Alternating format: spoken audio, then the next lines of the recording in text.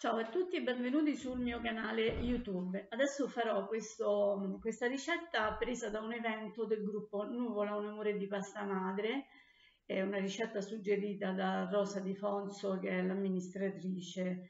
Quindi sono delle, delle palline di pane eh, semidolci, si possono mangiare sia, sia col dolce che con il salato.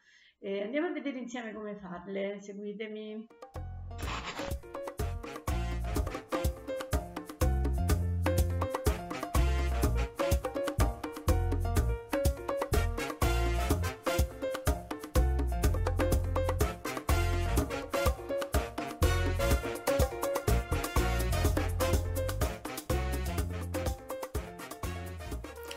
Bene, questi sono gli ingredienti, vedete sono pochissimi ingredienti per fare queste palline di pane, invece dell'acqua usiamo il latte.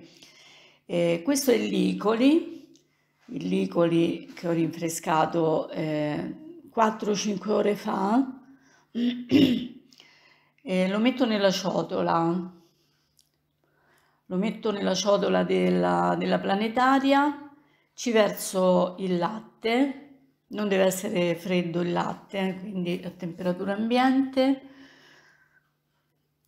o quantomeno una, una siepidita. Sciolgo il licoli, poi ci metto lo zucchero, lo zucchero di canna, faccio girare un pochino.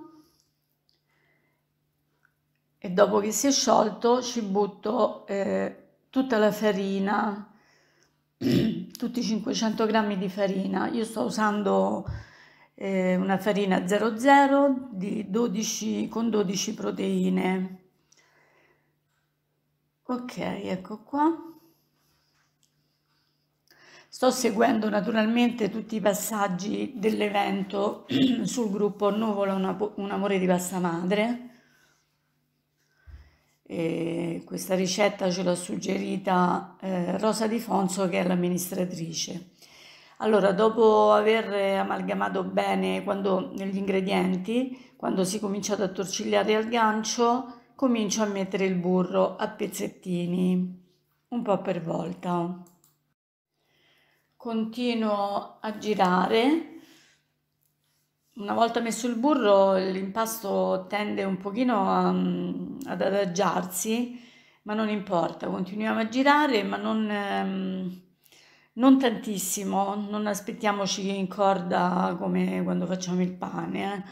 Eh. Eh, si presenta così, vedete, la ricetta mm, eh, di Rosa eh, dice di mettere direttamente nel recipiente, io ho voluto appoggiarlo un attimo sul piano di lavoro, giusto così eh, una birlatina. Poi lo metto nel contenitore e questo impasto deve riposare a temperatura ambiente 6 ore. Io siccome ho fatto, iniziato nel pomeriggio, eh, cioè nel pomeriggio tardi, eh, quindi ho fatto un passaggio in frigo di notte. La mattina dopo l'ho tirato fuori, quindi è stato 7-8 ore in frigo. L'ho tirato fuori, l'ho tenuto un pochino a temperatura ambiente ed eccolo qua. Come vedete si presenta così, non, eh, non è né appiccicoso ma nemmeno tanto elastico.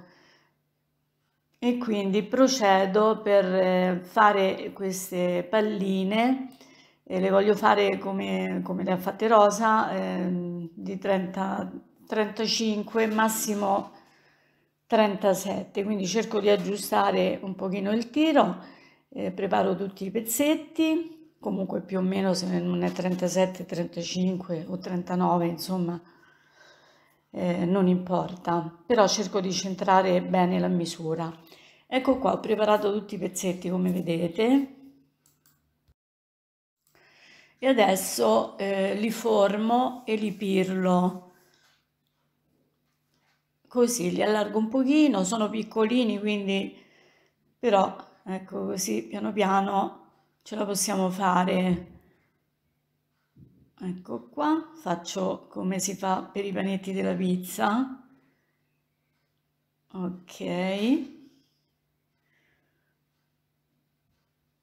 E poi una pirlatina. E li arrotondo. Insomma sì, per pirlare bisogna togliere la farina, altrimenti non si pirlano bene, essendo anche piccoli. Ok, ho preparato la teglia con, con la carta forno, scusatemi la voce, ma eh, con questo tempo pensate che siamo quasi a metà giugno e ogni pomeriggio ci sono i temporali, quindi è facile, eh, usciamo fuori, magari col caldo, poi all'improvviso un po' di freddo e ci freghiamo la gola. Ecco qua. Ok, beh sono carini, no? Ecco, ah, faccio piano piano e, e li adagio, li adagio, poi alla fine mh, mm, mi sono uscite fuori 28, 28 pezzi, 28 palline. Continuo. Vi ricordo che sto seguendo un evento sul gruppo Nuvola un amore di pasta madre. Eh, se siete iscritti naturalmente trovate la ricetta tra gli eventi con tutti i passaggi eh, il procedimento eh, che ha fatto eh, l'amministratrice Rosa Di Fonso. Bene, sono pronti, però adesso bisogna lasciarli lievitare eh, all'incirca 2-3 ore, dipende dalla temperatura. Io li ho lasciati forse anche 4 ore per, mie, per problemi miei, li ho coperti con, ehm, con la pellicola, altrimenti con un telo vedete sono cresciuti, sono raddoppiati e quindi posso eh, prepararli per infornarli. Ho preparato un tuorlo con un po' di latte e li spennello. Eh, mettendo il latte non vengono tanto scuri. Poi io ci ho messo sopra un po' di sesamo, voi mettete quello che volete, potete anche lasciarli senza niente io ne ho fatti un po' con il sesamo e un po' senza niente.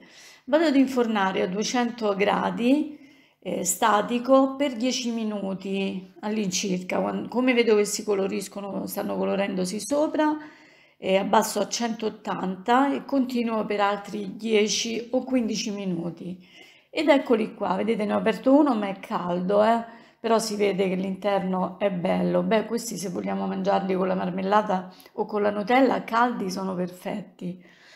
E questa è la seconda infornata perché sono tanti, ho fatto due, due teglie.